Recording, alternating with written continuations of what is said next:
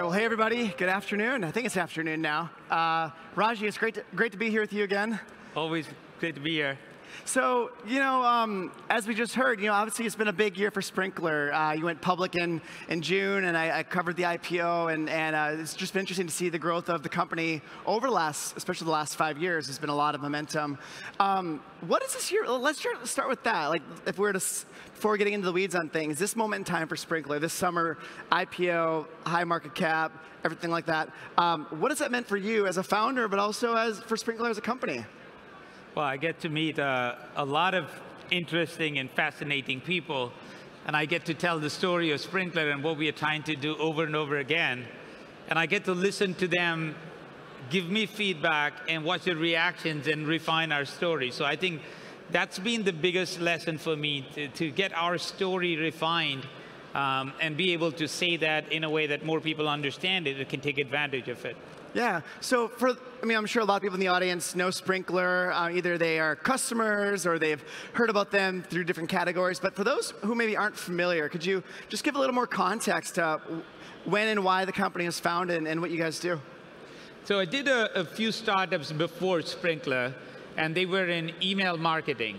And, and so when in, you know, 2009, 2008, you know, social media was just growing like crazy, Twitter and Facebook and YouTube. And what I saw was basically the next evolved way to communicate at scale without any of the problems we had in email marketing. So it was obvious to me that businesses are going to need a way to communicate on these channels. And that's where we got the idea of uh, Sprinklr. We got started um, in, in my spare bedroom. Wow, yeah, it's come a long way since then. Yeah, come a long way.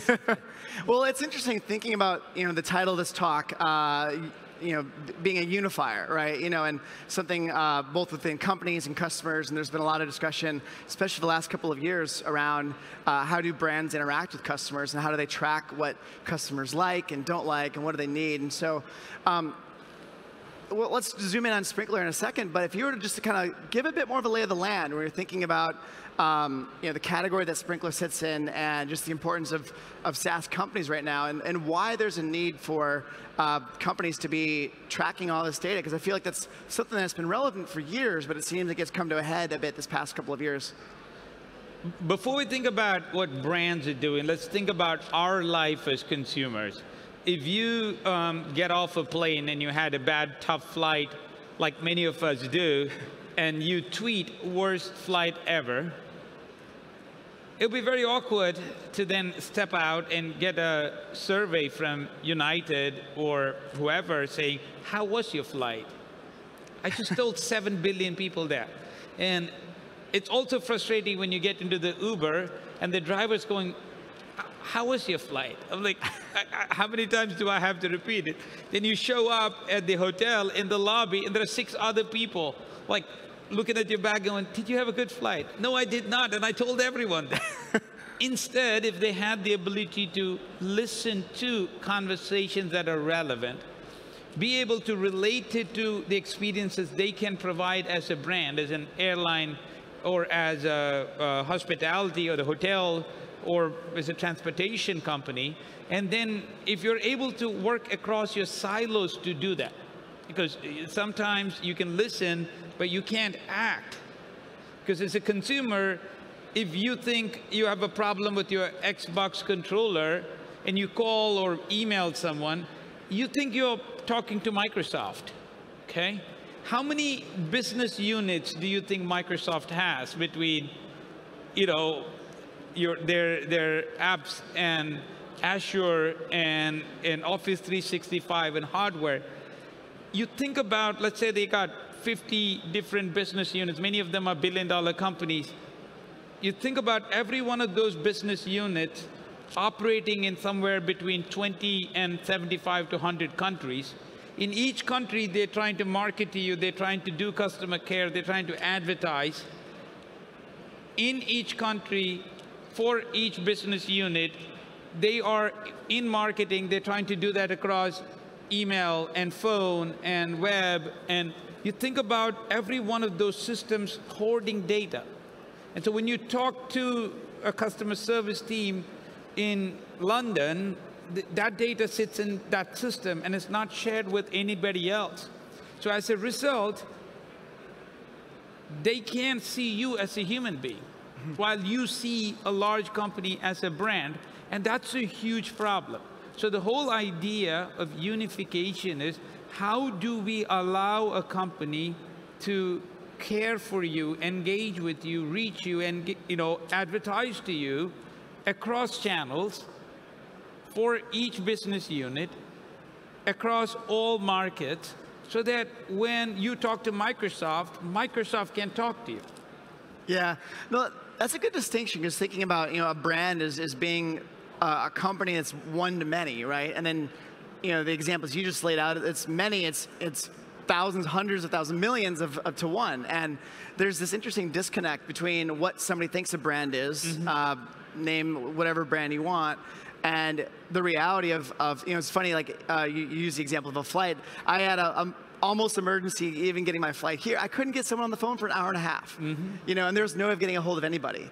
And so it's interesting thinking about that, and never had a problem like that on an airline before.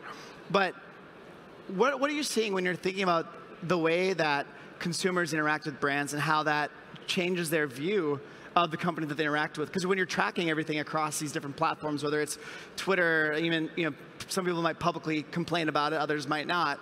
Um, how has it shaped the way that companies, whether it's clients or, or Sprinklr yourself, um, thinks about the weight of consumer sentiment? Because I know that you guys are doing a lot around uh, natural language processing and just the role of AI to be able to measure what people are thinking about any given brand.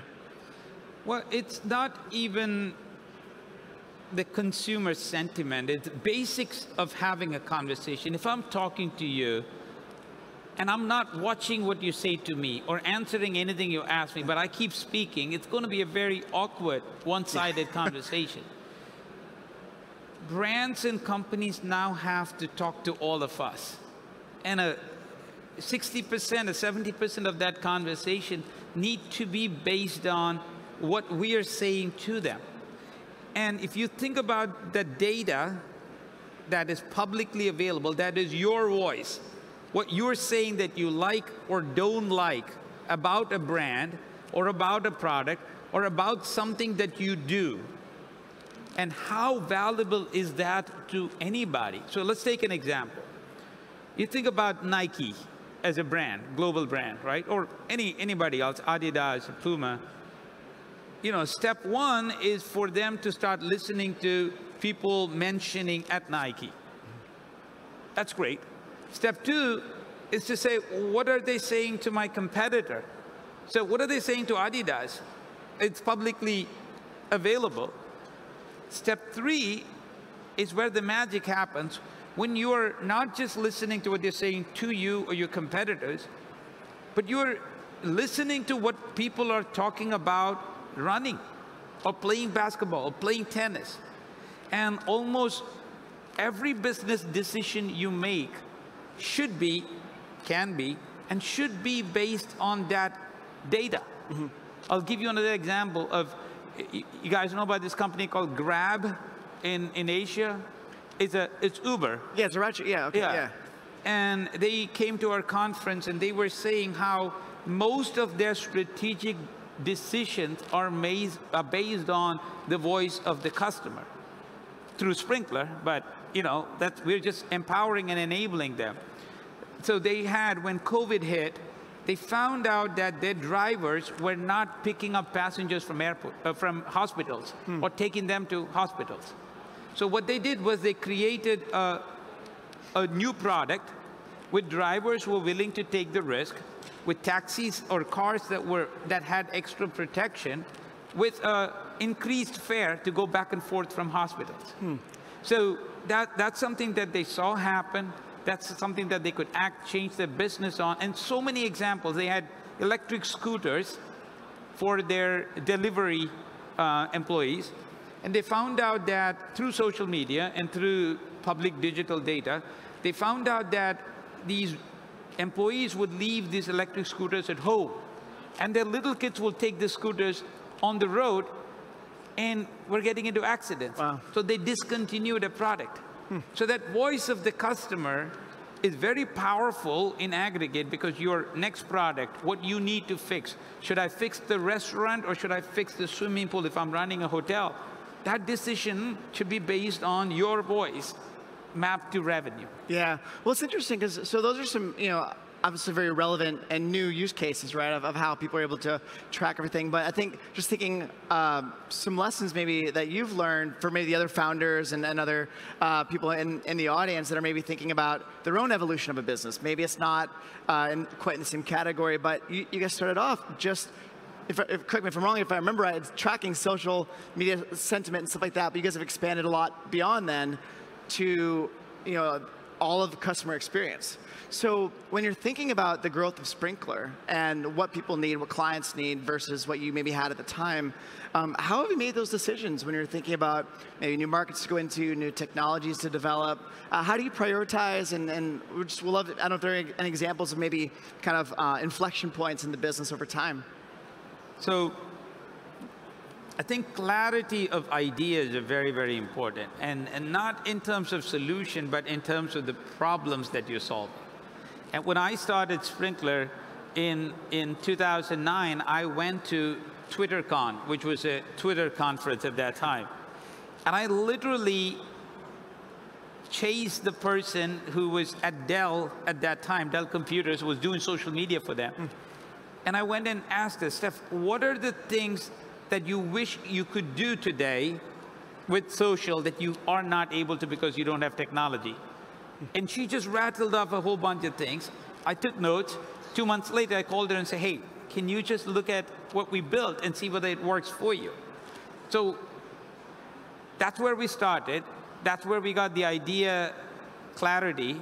And then it kept evolving against this broader concept of how do we enable and empower organizations to reach, to engage, and to listen to customers on all these channels. Um, and the way to get that right, invariably, guys, the way to get that right, invariably, is to listen to your customers in a very unfiltered way. So every time I feel like I need guidance, I make 100, 200, 300 customer calls.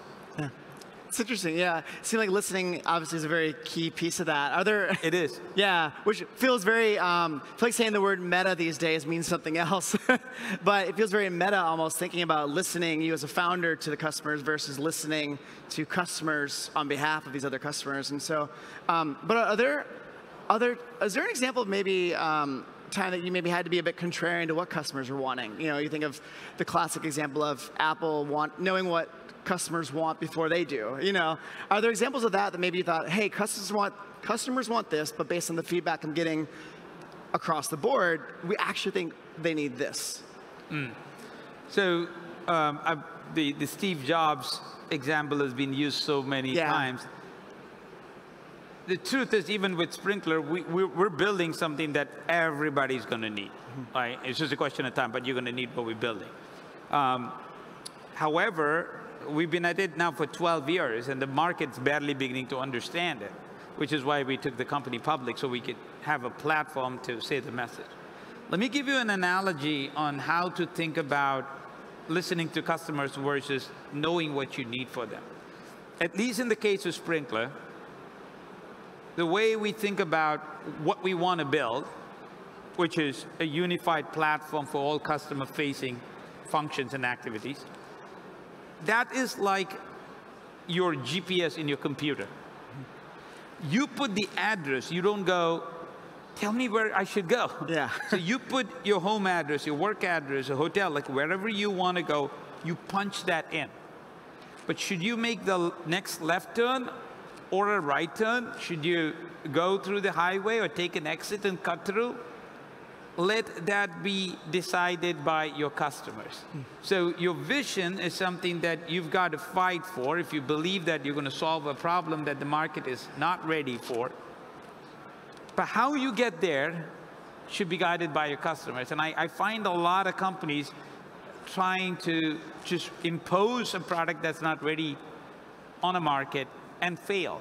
Hmm. And I also see a lot of companies who keep pivoting because their customers say, oh, I want this but then they say they want that, and they just go whiplash.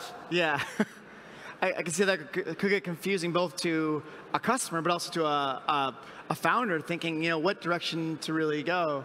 Um, you know, what is, when you're thinking about maybe what you're hearing about now from your customers? Obviously, you have a lot more customers than you had when you first started, uh, clearly. But what is it that people are wanting most now? What are those unsolved problems that you're hearing about maybe that you're working to solve? Or maybe it's something that it's kind of outside of Sprinklr's remit that is also still really interesting when thinking about the broader issues that marketers face?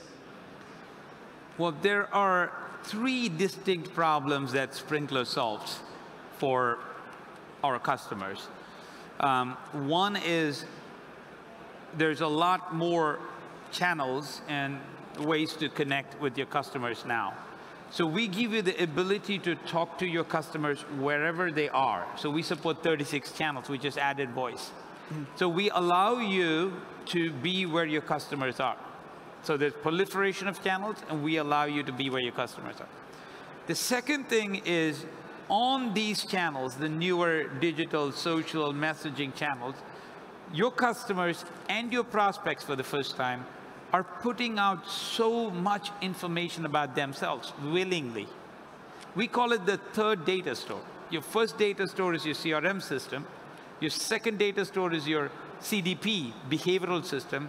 Your third data store is Sprinklr, your CXM database, which probably has 10,000 times more data than your CRM system.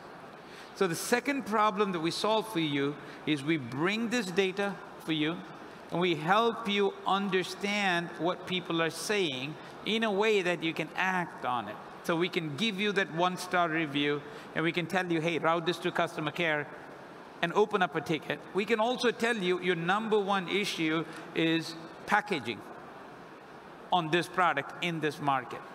The third problem we solve for customers is we help them deal with a customer whose expectations have changed. You and I, and none of us, are like the customers anyone had 20 years ago. Because I don't think I can be on the phone for an hour. Yeah. you know, I used to be able to be on the phone hold for an hour. I can't do it anymore. We're I impatient. yeah, I definitely didn't want to be. yeah, and we don't we don't buy anything without reading a review. So we're very changed. Our expectations have changed, and the only way to meet a customer who is in control and has different higher expectation is to expectations is to work across all your silos internally and by unifying the front office. So those are the three things.